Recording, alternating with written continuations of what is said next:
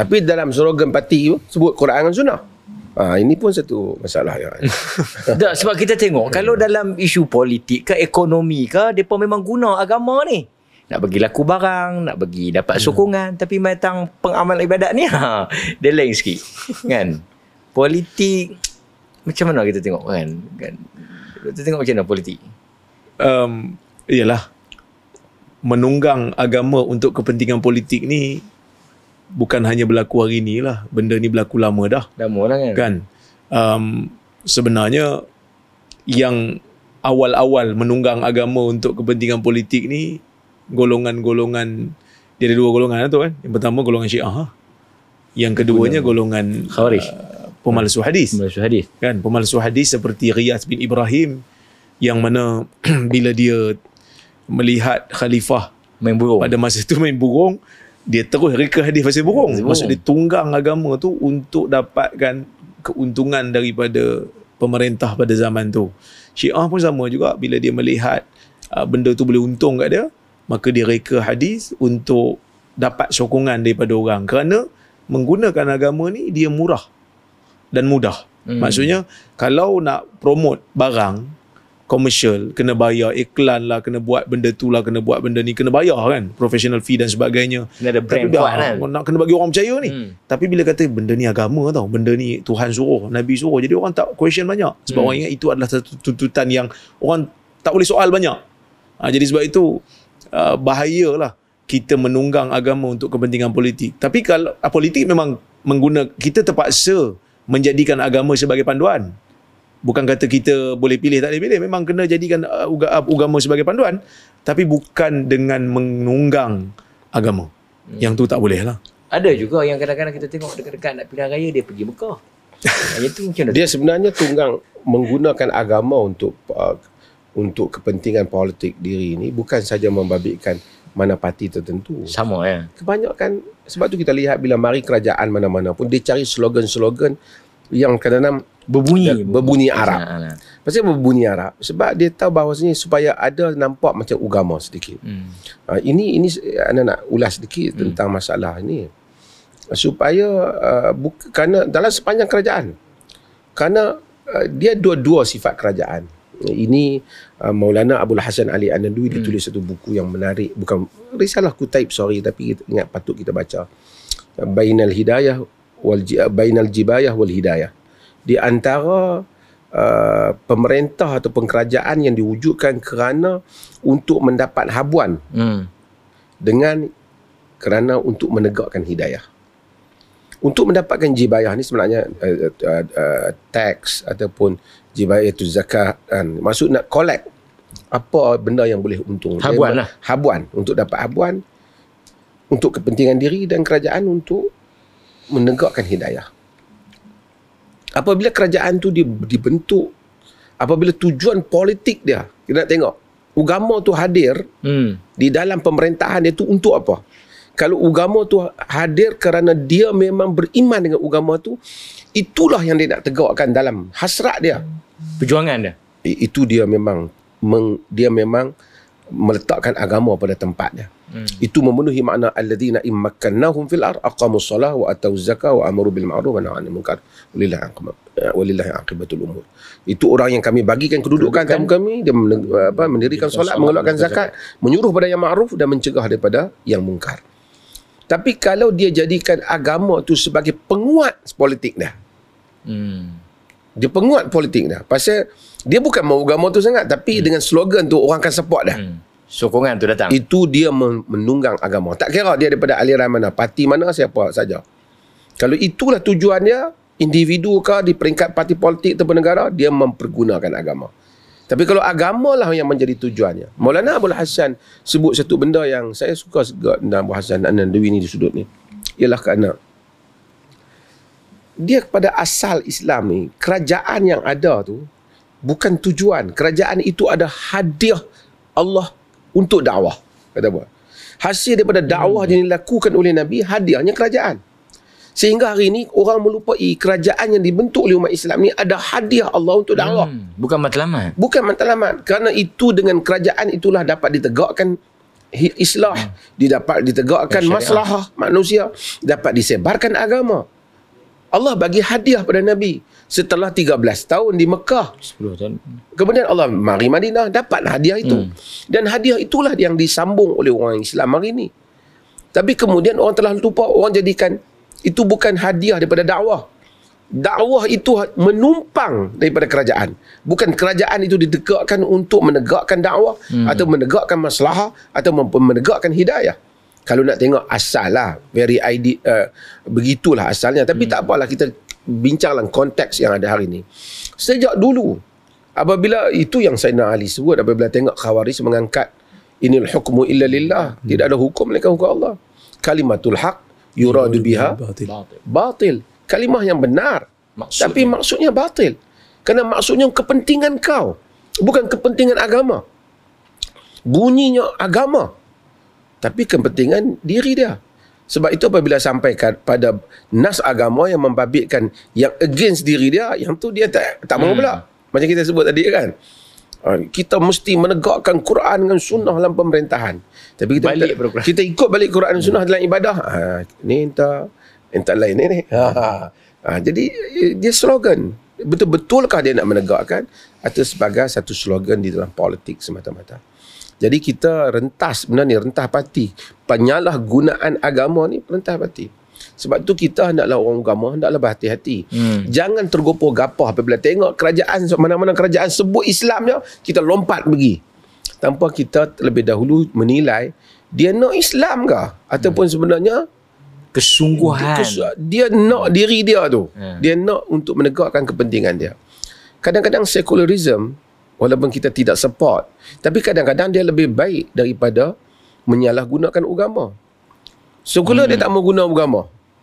Saya anda selalu sebut kalaulah barat tu tidak sekular, Islam tak boleh masuk ke barat. Tapi oleh kerana dia telah menjadi sekular, jadi dia tak peduli untuk Islam masuk ke negara ke Europe. Hmm. Kalau dia begitu Kristian, dia tak akan benarkan orang Islam berdakwah. Ya. Sekarang.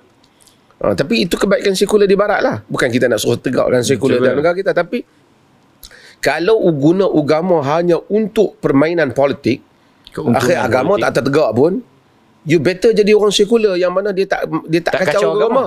Tapi kalau you betul-betul nak letakkan agama, nak sebut agama dalam politik, you sebut dengan jujur. Memang itulah yang menjadi cita-cita murni you untuk menegakkan agama di dalam negara. Agama dalam politik ni bukan mesti menegakkan semayang dalam arti kata itu sahaja.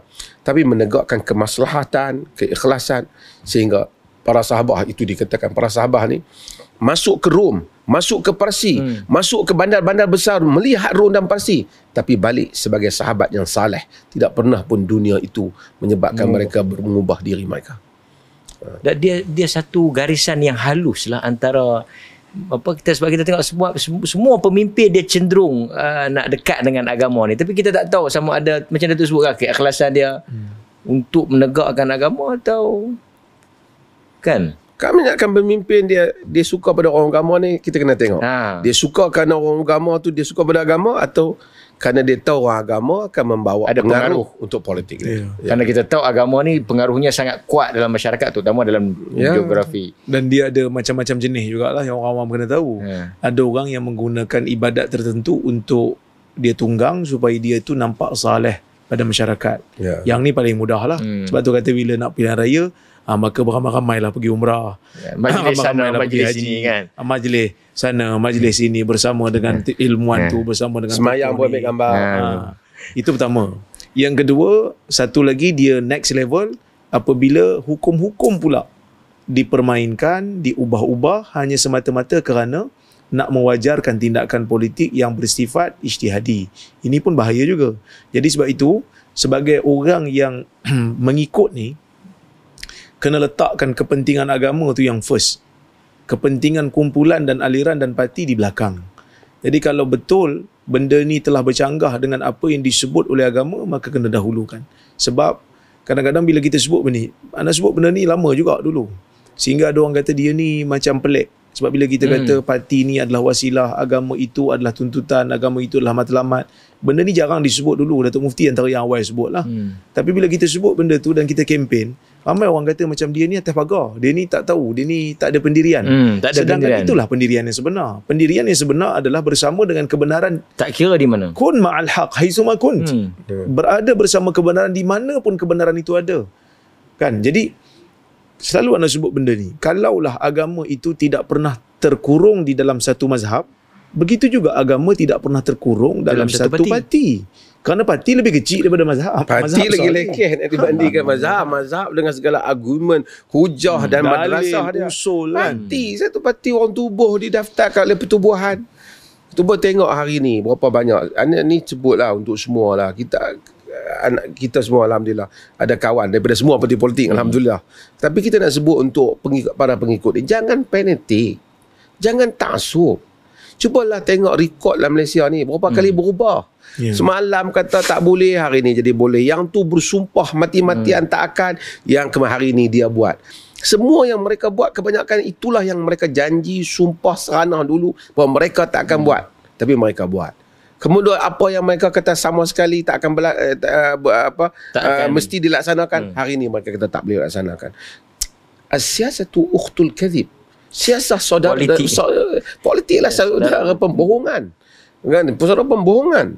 Bukanlah kita politik dalam erti kata kayak itu, tapi kalau politik dalam erti kata orang kata politik, Islam tak boleh dipisahkan dengan politik. Islam itu adalah tujuan berpolitik ialah menegakkan Islam. Islam dalam kerangka yang luas lah bukan Islam lah maksud arti kata potong tangan saja itu bukan itu maksudnya Islam ni kita masalah yang luas tapi itu tujuannya politik uh, tapi yang berlaku sekarang ni bukan yang berlaku sekarang ni politik yang mana uh, apabila bercakap politik wak mari dalil agama ataupun bercakap politik semua bunyi beragama semua ni bukan parti mana tertentu je semua parti buat Ha, sebab tu yang ada yang bukan Islam pun try eh, Try baca ah, dalil. Try baca dalil tu. Lepas tu yang bergaduh tu sebab apa dia tahu market dia yang itu. Market dia yang tu. Sebab tu kalau boleh uh, kita ni kena ada peraturan juga. Orang politik ni kalau dia atas pentas kempen politik ni banyak mana kadar yang dia boleh guna agama ni. Sebab tu dalam negeri-negeri kadang-kadang payah juga. Kadang-kadang agama tak boleh cakap. Di ustaz-ustaz tak boleh cakap agama. Tapi bila orang kempen politik ment- apa ahli kempen politik ni Pentas pa- politik. pa- parti macam-macam lah. Bukan satu parti lah.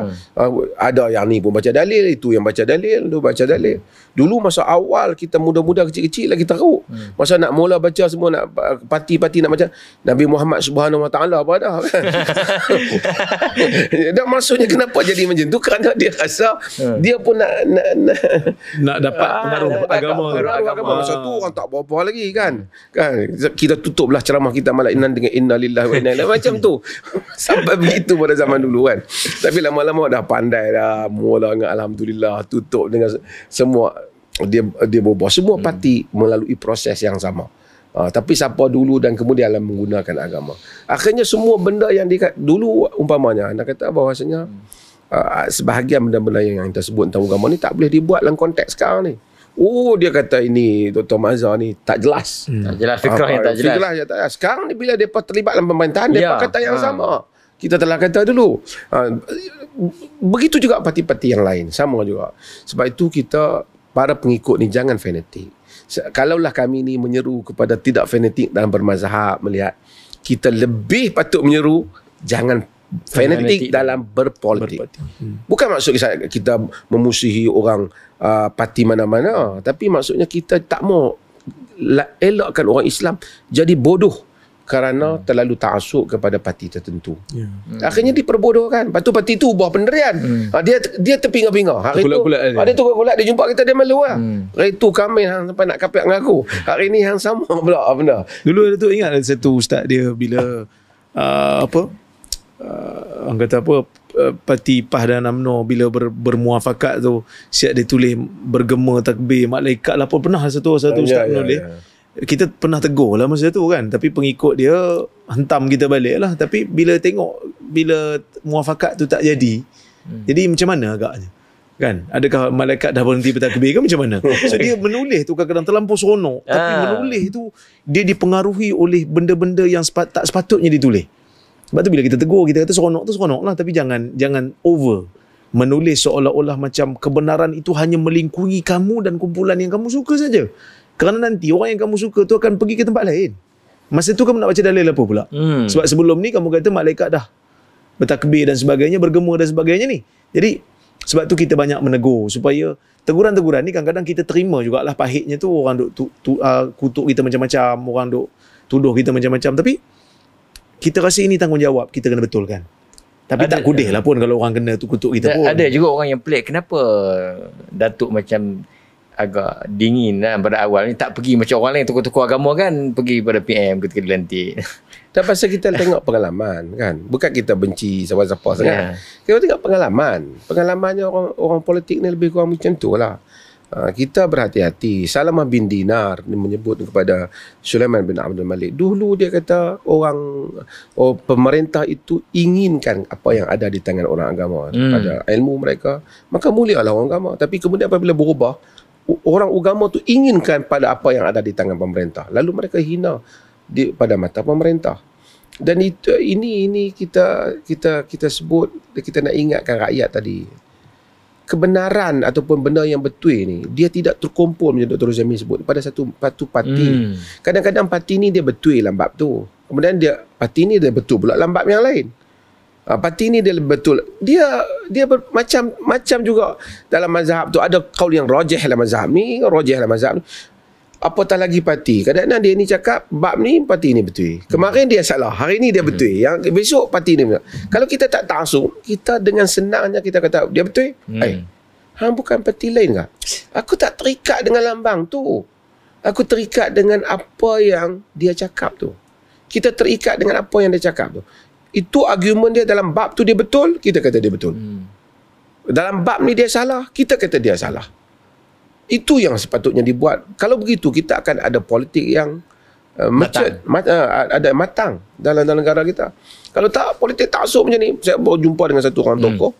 Uh, Dia kata selama ni dia sangka parti A tertentu ni yang taksub dengan pengikut dia uh, bertakbir lah apa.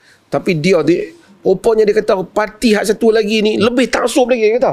Oh, itu dia punya cerita lah. Sejauh mana Hmm. betul tak betul tak tahu lah. Tapi lebih taksub lagi. Taksub dengan pemimpin dia. Hmm. Sampai salah pun orang tegur tak boleh. Sampai pemimpin dia dulu kata benda lain, buat benda lain. Tak will habis. Dia takwil bagi habis.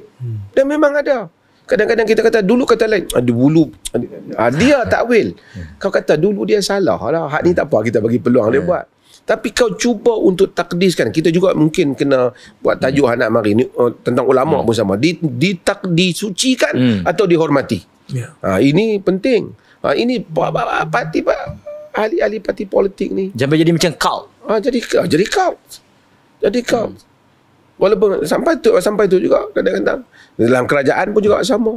Kadang-kadang oleh kerana dia tu ketua parti tentu, dia jadi menteri. Menteri yang tak berkualiti.